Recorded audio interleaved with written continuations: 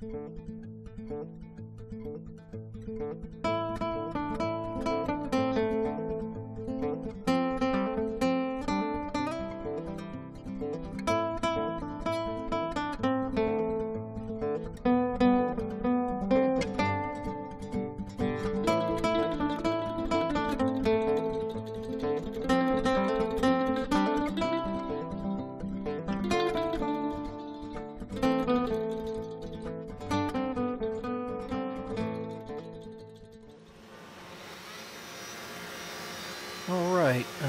Back on the HW50 stops. I uh, did most of the inletting in between uh, the last video and this one. Uh, I'm just doing the finishing touches on it. Um,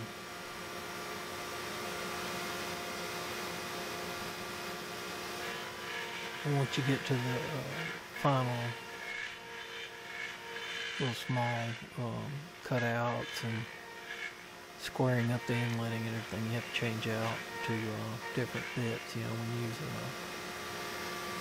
larger uh, bit it doesn't get all the way into the corners and all the tight radiuses. So you have to swap out. That's what I'm doing right here is just uh, swapping out from the uh, long reach quarter inch bits to a uh, smaller round nose bit that'll get into the corners. I still have to clean it up a little bit.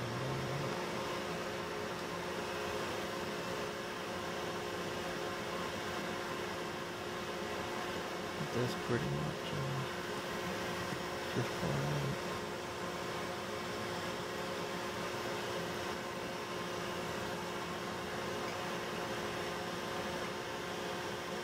I still got a bunch of other stocks that gotta done. Uh, I'm still got people waiting on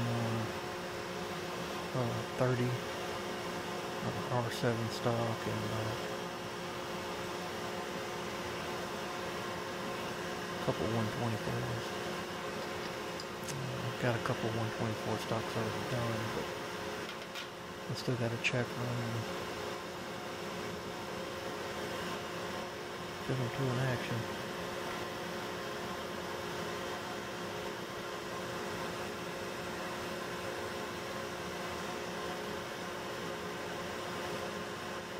Uh, I'm I'm leaving these. It's like I edit out. I've still edited out a lot of uh,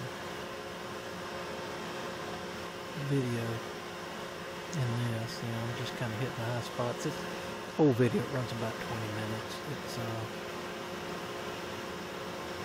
I think I had uh, two and a half hours of footage doing uh, just finishing up the inletting and scraping the inletting and getting everything fit.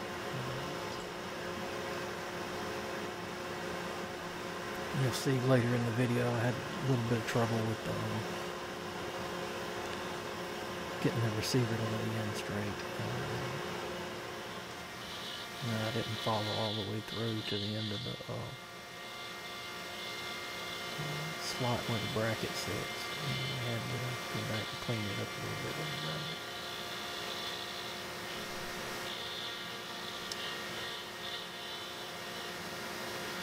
Uh, one thing, yeah, this video is pretty much me just doing inletting. Uh, I don't get into any finish work or uh, you know, sanding, finishing. Uh, one common mistake when people buy do-it-yourself stocks is they'll uh, do all the sanding and the finishing on the outside and then inletting last. Uh, you know, stocks get kind of bumped around a good bit when you're, and you know, you want to do all your final finishing after you've cleaned up and done, got all the inletting. You want it where the action can bolt up without any uh,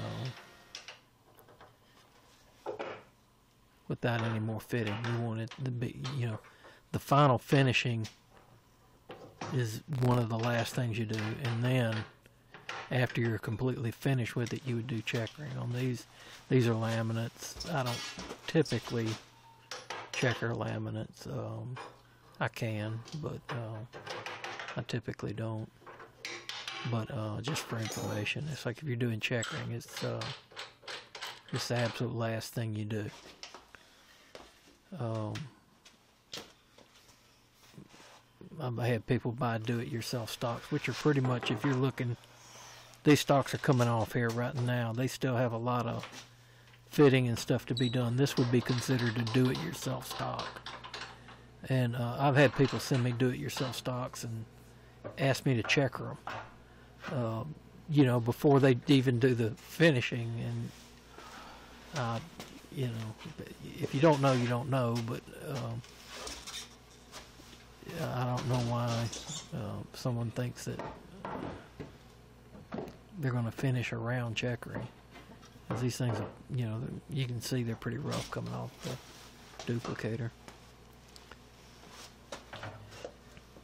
Anyway, now I got to cut the ends off of the uh, all the centers and blocks off the end of it, and true up the uh, the forks. I typically do all that on the bandsaw right here.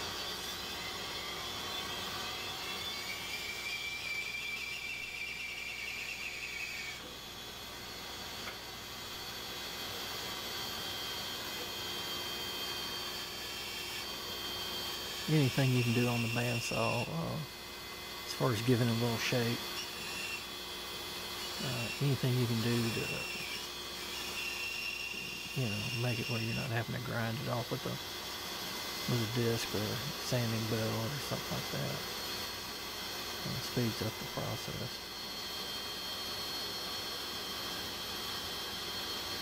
And I just I decided to go ahead and throw both clips in. Uh, I'm pretty much doing both of these at the same time.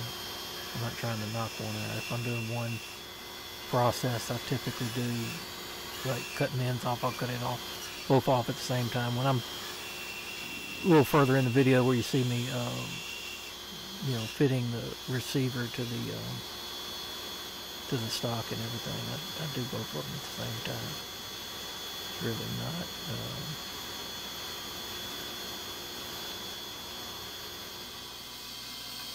I just hate going back and doing another one after uh, once I get in the groove and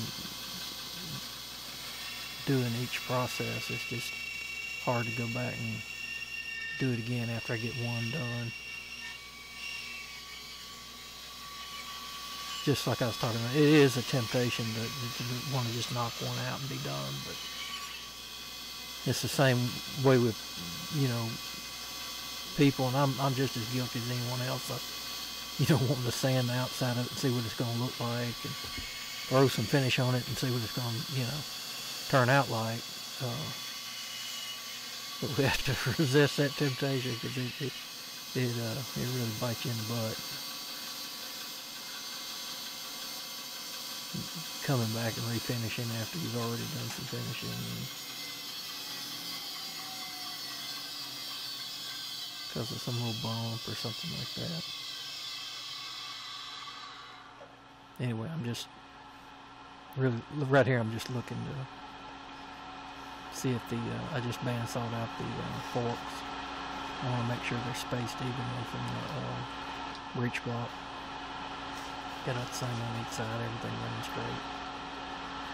Now, I'll say later on that uh, things get a little bit uh, off. Uh, talking about the receiver laying in there, it's not a lot. I mean, I think I probably only took off maybe ten thousandths on one side to uh, to get the receiver to lay in straight. Anyway, I'll talk about it here in a minute.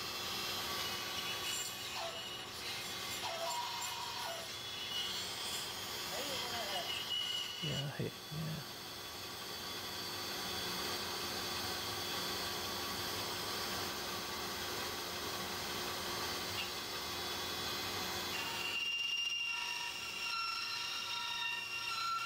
This is another thing. It's like know, sanding out the forks to uh, be even and straight.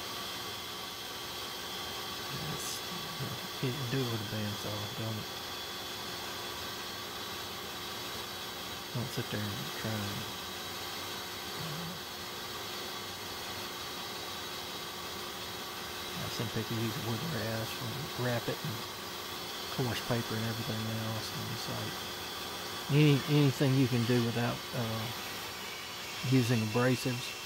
I mean, you have to use abrasives to you know to get the finish you want on it and everything, but anything you can do to uh, keep from using an abrasive is a win.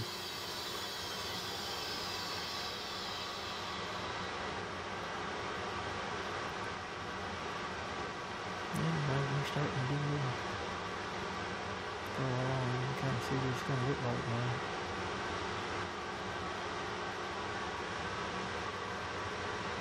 I'm done with all these videos, you'll be, you know, have a pretty good idea of what all went into it, start to finish.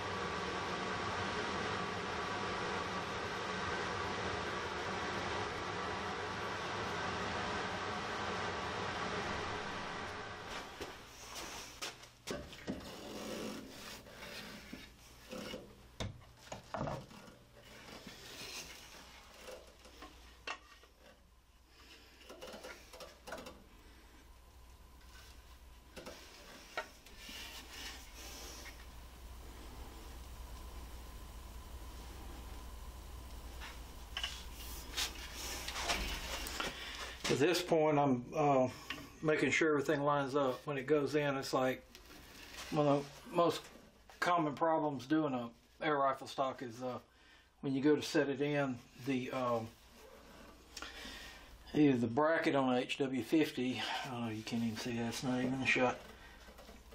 The bracket in HW50 is like rides in a groove, and you got to make sure that when it goes down, it's aligned. The forks are straight. Um, your screw holes line up, which ain't exactly easy to see, but you can kind of look at the cocking. Uh, I mean the trigger slot. And I can tell you, looking at this, that it's trying to walk off center.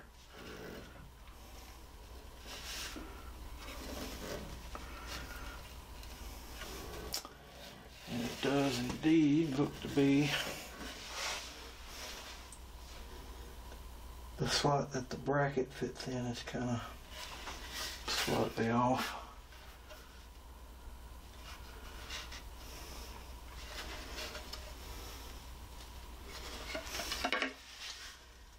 Hmm.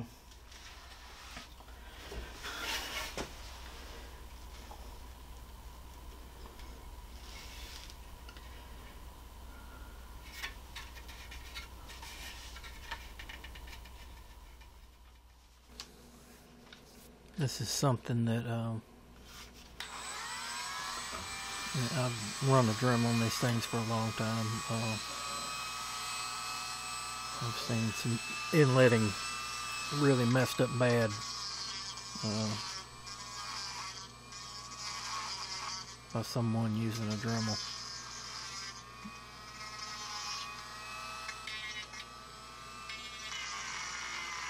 Anyway, there's a little divot in uh, uh, in the bottom of an HW50 where the front lug lines up. Um,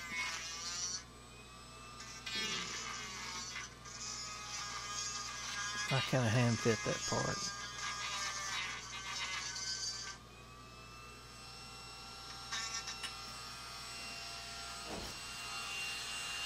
Just keep laying the receiver into it until it, uh,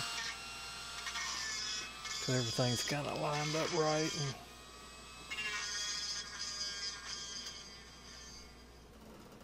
Once I get the forks lined up to where they look like they're running true, um,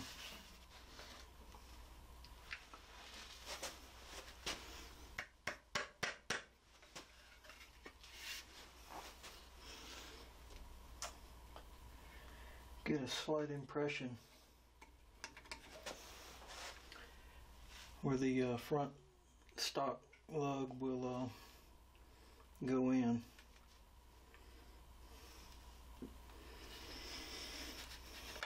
I'll uh, make my own screw cups and uh, countersink it after I've uh, done this hole. I typically do this uh, after uh, all the duplicating so I can get everything to line up perfectly.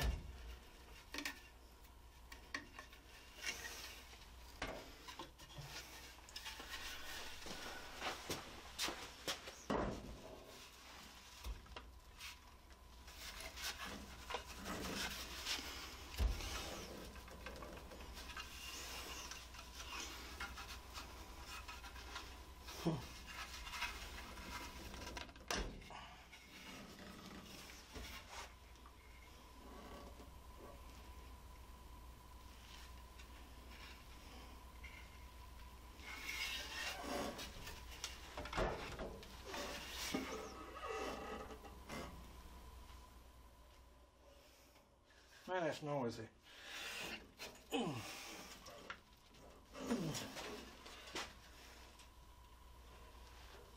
I'm looking at this thing and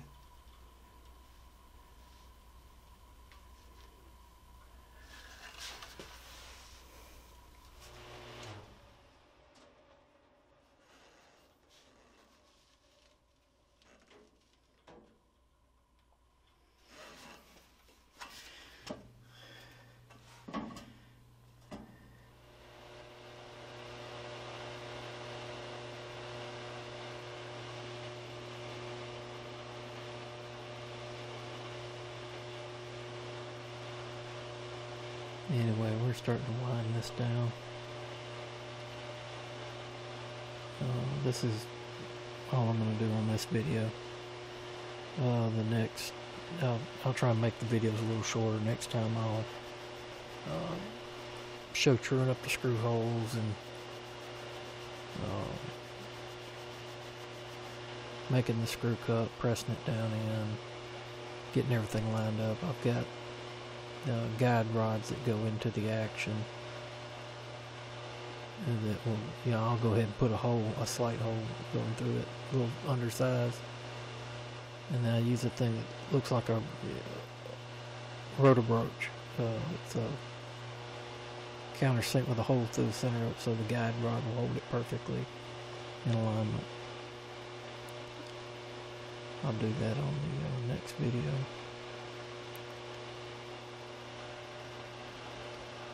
And it's just me uh, bumping it, getting an impression on it, looking in the inlet and touching everything up.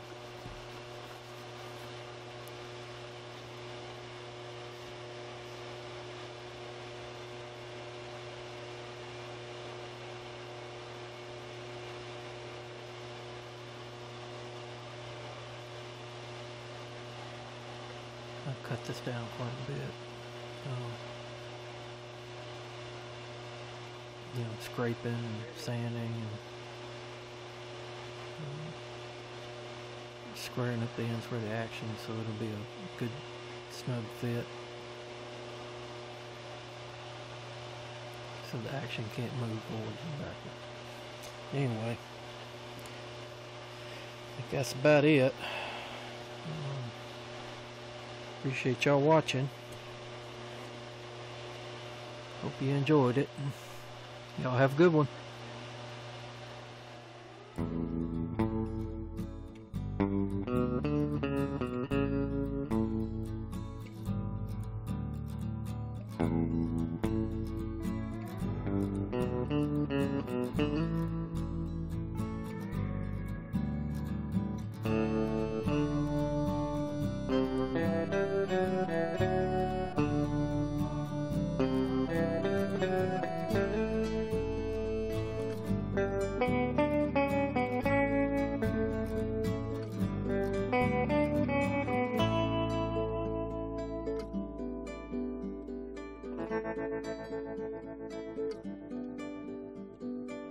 Thank you.